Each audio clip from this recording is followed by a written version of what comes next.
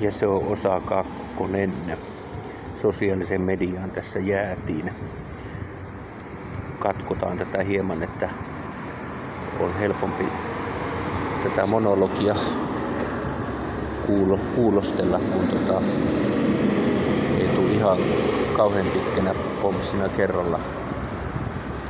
Mut tosiaan tuossa ykkösosassa niin jäin siihen, että sosiaalisella medialla on hyvin merkittävä osa, osuus siihen, että, että me yhteiskunnassa on paljon tällaista polarisaatioita tapahtunut ihmisten, ihmisten kesken ja niin kuin erimielisyyksiä ei välttämättä yritetäkään enää sovitella ja ihmiset aika pienistäkin erimielisyyksistä saattaa niin kuin ajautua erilaisiin eri seuroihin kes- keskenään ja e-, eivät välttämättä ole tekemisissä toistensa kanssa.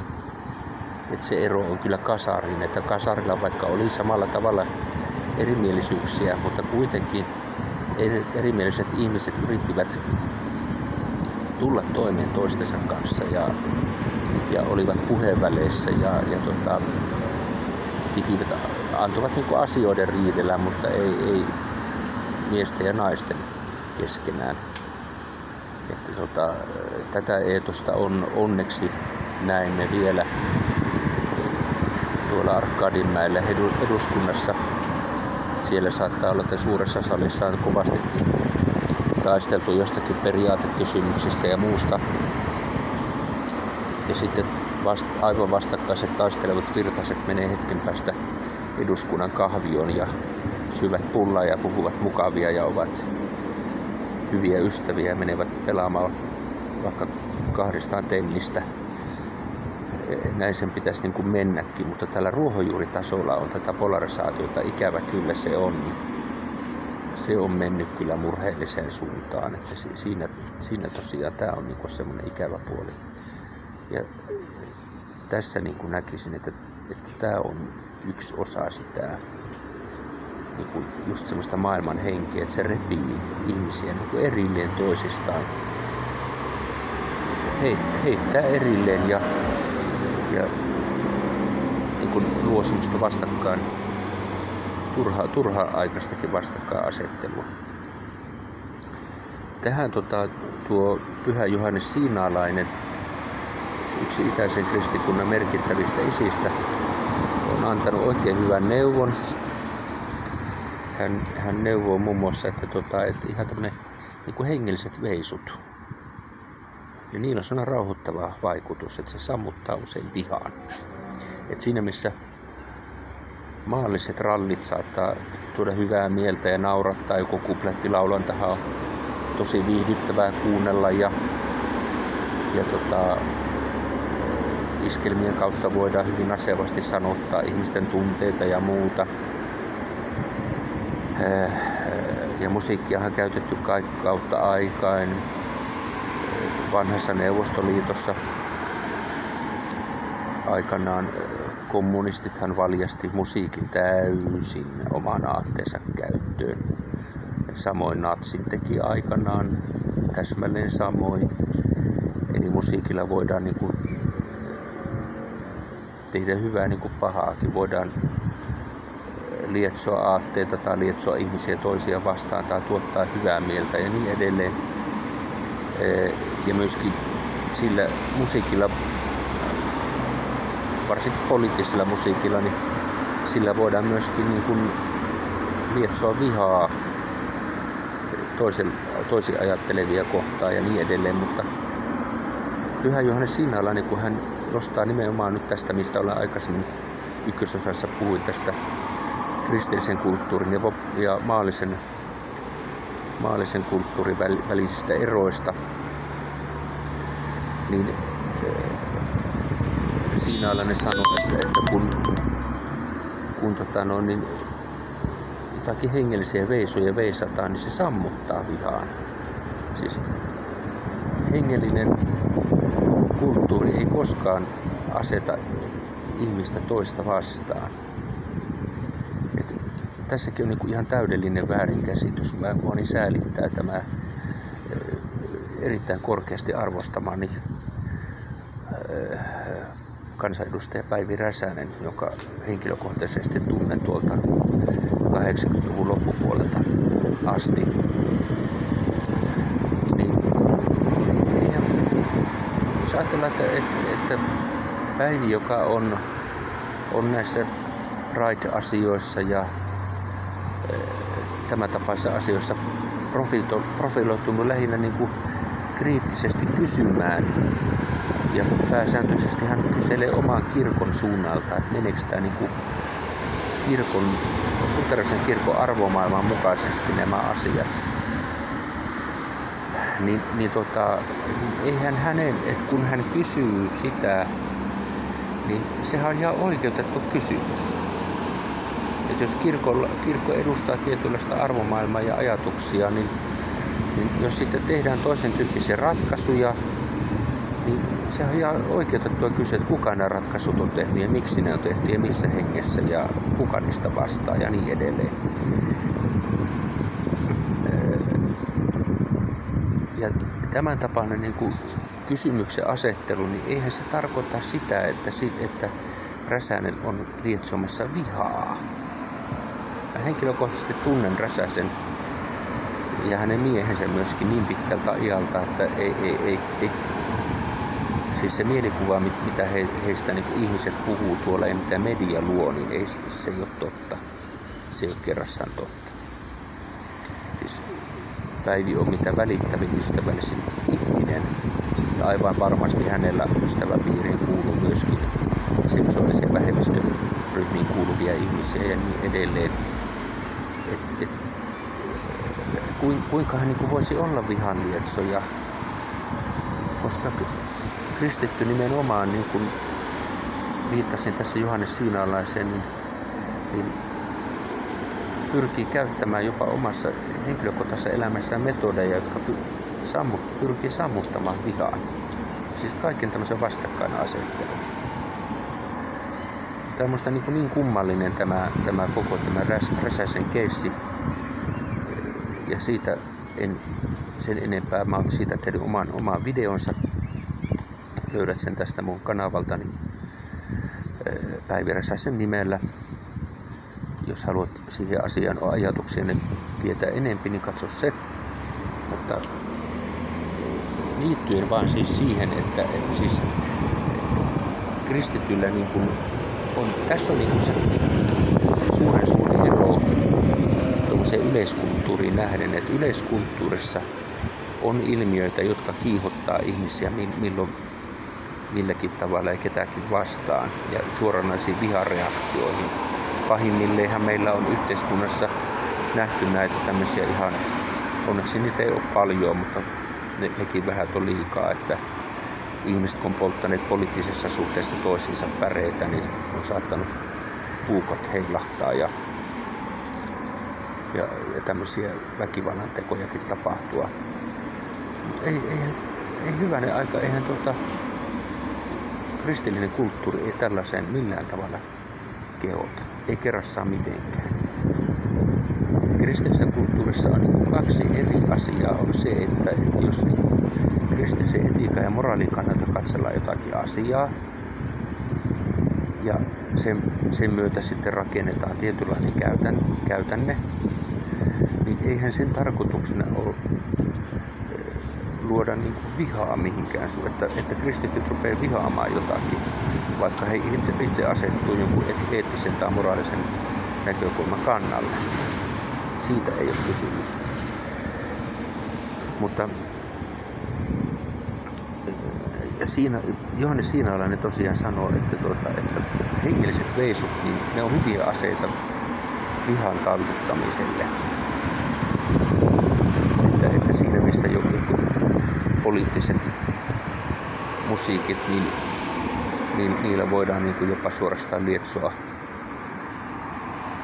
aatteita, toisia aatteita vastaan, niin, ja jopa, jopa vihan tunteita. Ja mehän tiedämme, että esimerkiksi niin kuin sodan käynnissä nykyisin 2020-luvulla tälläkin hetkellä on 30 sotaa ja isompaa ja isompaa konfliktia ympäri maailmaa, niin usein nuoret sotilaat, kun ne tuolla painaa menemään jossakin, pistävät ihmisiä hengiltä, niin ne saattaa olla korvanapit korvissa ja ne kuuntelee jotain hyvin aggressiivista musiikkia. Siis se, se, se musiikki tietyllä tavalla siinä niin on apuvälineenä turru, turruttamassa ja lietsomassa niihin tekoihin.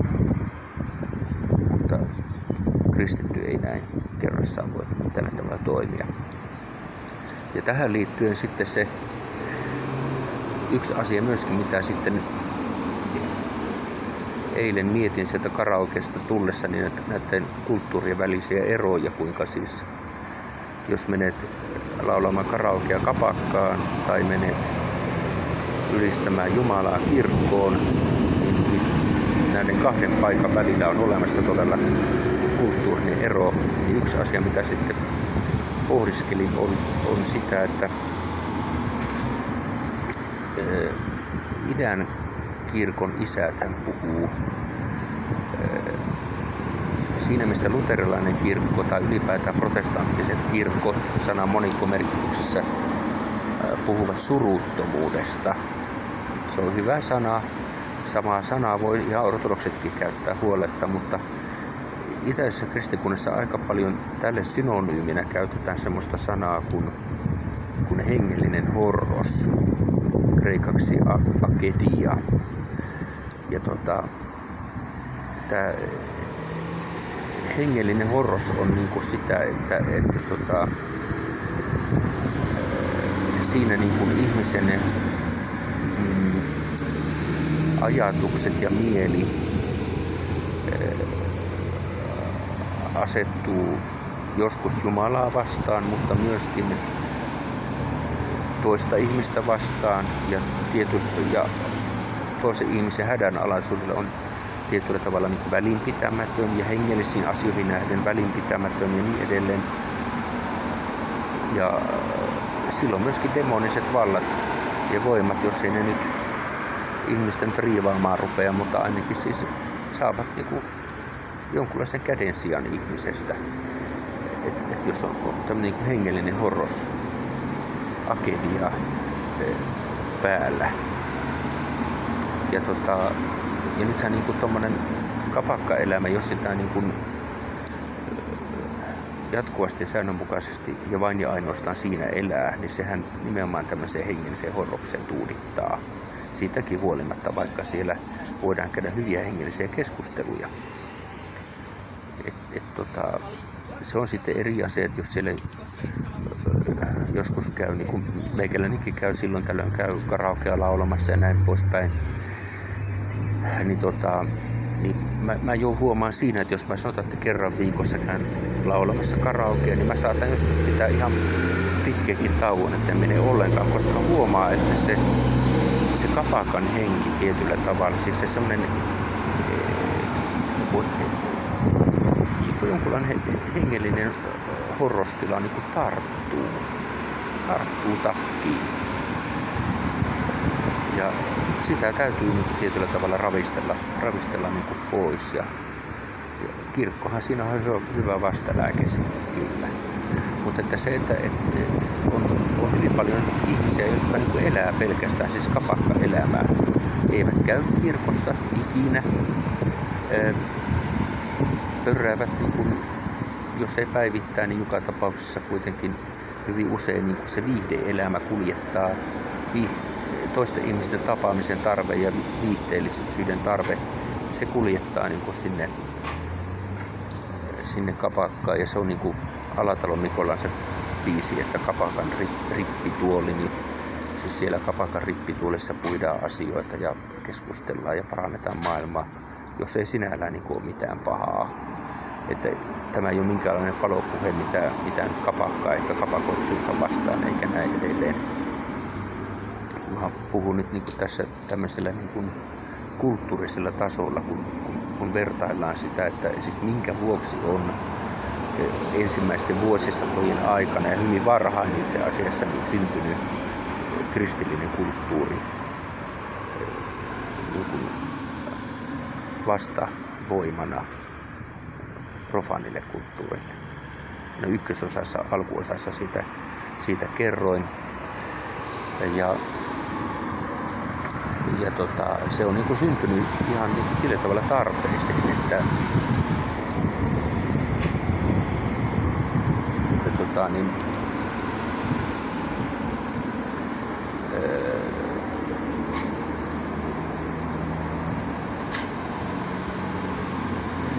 tämän maailman, maailman niin kuin virtaus semmoinen hengellisen horroksen ajava virtaus, se on niin voimakas, se on valtava voimakas. Ja jos koko ajan on niin kuin pelkästään siinä pyörteessä, ja jos sitä vastakulttuurivaikutusta ei saa siinä olla olemassa, niin kyllä ihminen todella sitten siihen suruttomuuteen vajoaa jossa niin kuin ei hengelliset asiat kiinnosta pätkän vertaa. Et sitten menee vähän niin kuin se vanha sketsi, että tota, ee, lähdetäänkö kirkkoon vai mennäänkö kapakkaan, mennään kapakkaan. Ja sitten se vitsi oli semmoinen terässä ee, muinoin olevassa viideohjelmassa, niin jokaisessa sarjassa oli tämä sama sketsi. Mutta se vaan se kirkko pysyy samana, mutta sitten se vasta, vastakkainen ajatus, minne mennään, mennäänkö kauppaan tai mennäänkö kioskille tai mennäänkö uimarannalle, niin aina se kaikki muu paitsi kirkko voitti. Ja kirkko jäi aina häviölle. Niin aina siinä niin tulee käymään sit sillä tavalla, että jos tässä jos niin kuin ihminen elää vaan siinä niin kuin koko ajan siinä maailmallisen hengen pyörteessä, niin tota, ei ole kirkon kipeä eikä papin vaivan este ikinä. Ja se on niin kuin, se on surkea tila, semmonen tila. Tuotapas mitä täällä tapahtuu.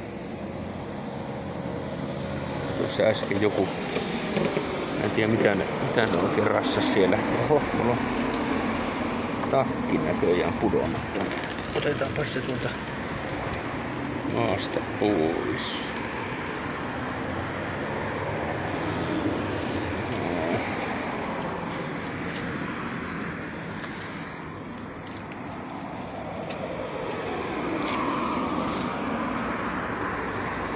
Se semmonen, että jos niinku se tietyllä tavalla se semmonen niinku Kristuksen henki ei saa millään tavalla vallata, niin kyllä se se horrostila sitten kyllä hyvin äkkiä niin kuin jopa, jopa niin kuin todella upot, upottaa hyvin niin kuin syviin, syviin ympyröihin. Ja tuli tuossa äsken, äsken juolahti mieleen joku juttu, joka sitten katosi hetkinen. Otahan nyt tähän, tähän teemaan liittyen teemaan liittyen.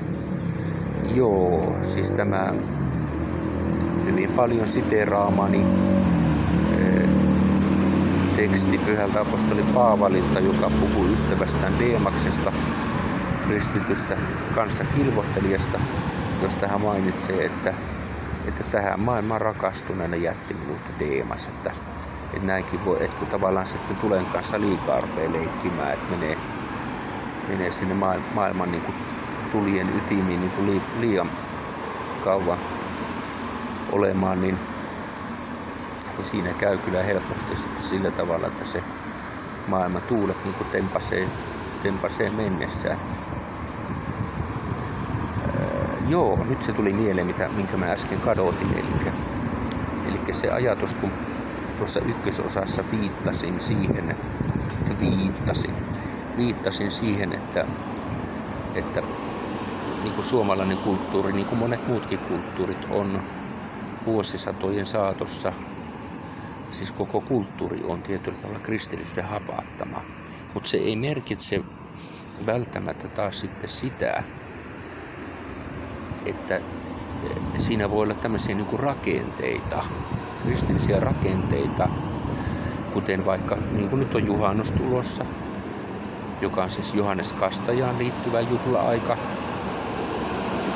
Ja on, on pääsiäisiä, on joulu ja niin edelleen. Siis tällaisia niin kuin juhlakausien niin kuin vaihteluita. Niin tota, mutta se, sehän ei tarkoita sitä, että, että ihmiset niin kuin on sisäistänyt näitä asioita. Tai että ihminen on, niin kuin Jeesuksen sanoi lainatakseni, uudesti syntynyt ylhäältä. Siis rakenteet ei koskaan tätä, tätä voi millään tavalla, rakenteet voi luoda puitteita asioille, mutta, mutta sitten kun puhutaan niin kuin sisäisestä, sisäisestä maailmasta, että se on vähän sama, mä muistan penskana, niin yläasteella, kun oli matematiikan tunti, niin mä enää aiheita muista, mutta tota, niin meillä oli jotakin matikkaan liittyviä juttuja, jotka minun teini-ikäisen päässä meni niin palikat risti, että mä en enää oikein ymmärtänyt niin kuin missä niin kuin mennään. Niin mä nyt aikuisen ajatuksin ymmärrän, mistä se kenkä puristi. Se ei puristanut siitä, etteikö äly olisi riittänyt, vaan se, puri, se kenkä puristi siitä, että nämä matemaattiset asiat, mitä opeteltiin, niin niiden pohjalla oli teoriaa teorian päälle, jonka varaan sitten rakentui nämä kaavat ja järjestykset, miten näitä ongelmia ratkaistiin. Niin mä en yksinkertaisesti mm, niin kuin sisäistänyt niitä. Siis mä en yksinkertaisesti en, ne ei niin kuin mennyt, sy, nyt en tarkoita vain äly, älyllisesti, vaan myöskin niin kuin, että en sisäistänyt sitä, mihin näitä tarvitsee, mikä tämä idea tässä on ja niin edelleen. Ja siitä niin kuin se, seurasi sitten se, että kyllähän mä ne jutut nyt jotenkin niin kuin teknisesti suoriin läpi, mutta tuota, sisäistämättä koko asiaa lainkaan. Ja hengellisessä elämässä voi olla täsmälleen sama, samasta niin kuin kysymys, että sulla voi olla niin kuin, niin kuin Suomessa onkin kristillisyyden hapattama kulttuuri, joka on kyllä purkautumassa kovaa vauhtia, mutta se ei merkitse sitä, että ihmiset on sisäistäneet asioita. Ja sitten kysymys ei ole vain pelkästään sisäistämisestä, vaan niin kuin Jeesuksen sanat jo sanoo uudesti syntymisestä, siis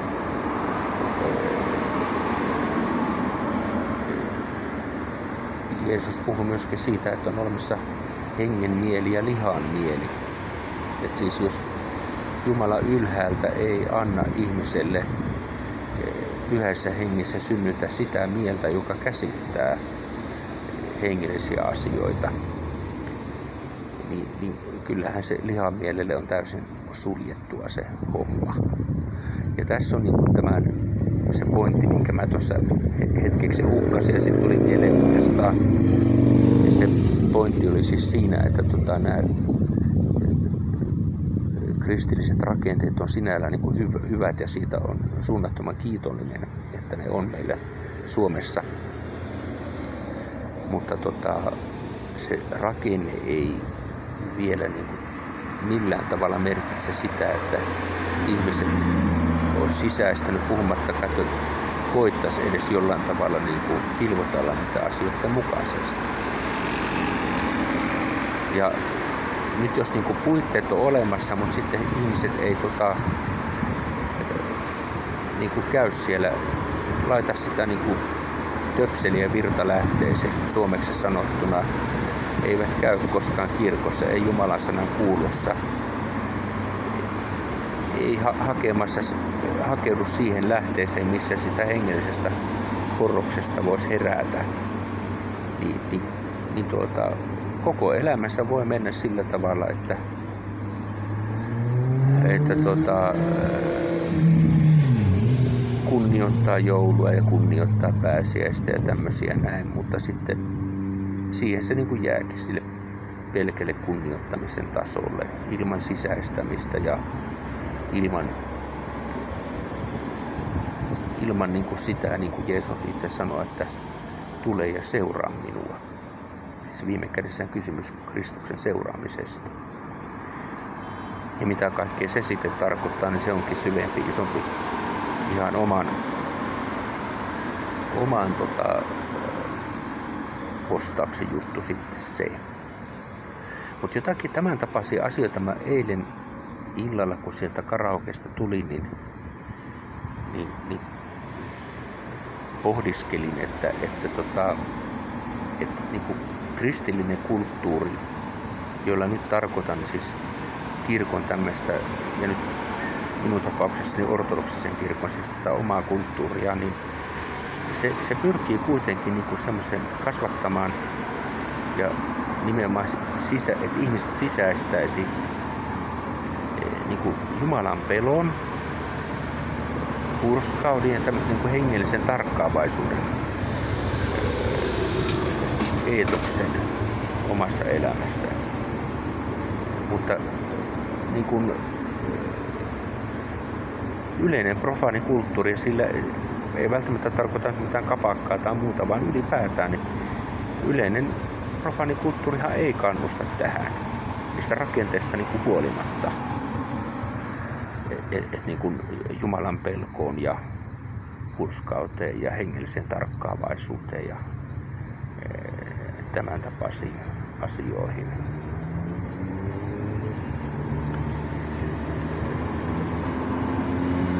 Tai jos ajatellaan, että, että erityisesti meillä ortodoksessa kirkossa puhutaan on ihan teologian siellä ytimissä on muun muassa niin kuin puhdas sydämisyys. Että siis ihmisen, ihmisessä tulisi tapahtua niin kuin tämä, mistä Johannes Kasteesta sanotaan, että hän oli eh, tien raivaa ja hän siis raivasi tietä Messiaalle, Kristukselle. Hän, hän eh, raivasi niitä esteitä, kiviä ja kantoja. Ihmisen sisäisessä maailmassa elämässä on kaikenlaista syntiä ja saastaisuutta ja ja niin mielen, mielen, mielen alueella kuin kätten teossa kuin ajatuksissamme ja niin edelleen, niin, niin tuota, eihän mihinkään tällaiseen niin kuin tämän maailman meininki niin kuin lainkaan, lainkaan kannusta, että päinvastoin, että siinä on, että ei tippatapaa eikä ämpäri huku tai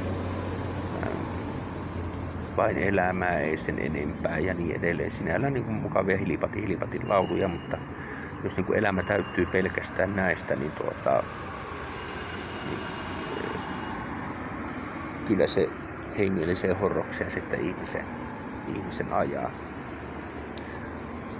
Jotain tämän tapaisia ajatuksia eilen pohdin kotiin karaoke-laulannasta mukavan illan jälkeen,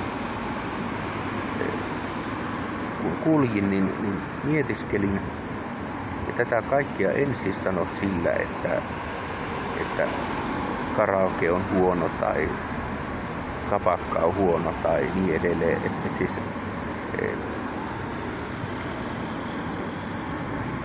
ihmiset ovat niin hirveän erilaisia. Mä muistan tuolta 30 vuoden takaa juttelin yhden semmoisen herran kanssa, joka sanoi, että hän on elänyt hurrikaniskulttuurissa ja hurrikanesin myötä niin hänellä meni niin kuin kaikki ihan päin seiniä, että hänestä tuli alkoholisti ja sitten vähitellen niin kuin tuota, hän lähti rikollisen poluille ja, ja, ja epäsivelinen elämä ja kaikki tämmöinen tuli kuvioon mukaan.